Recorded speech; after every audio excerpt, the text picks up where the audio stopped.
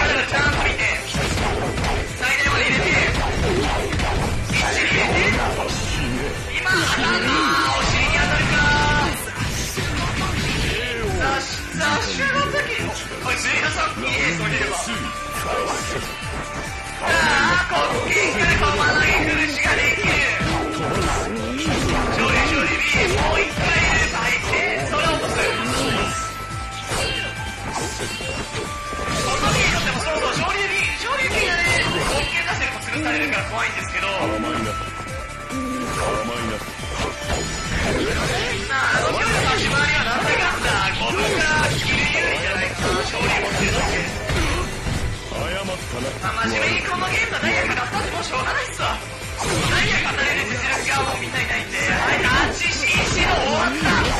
俺非臓よダメージ補正かかんなくてああ落とす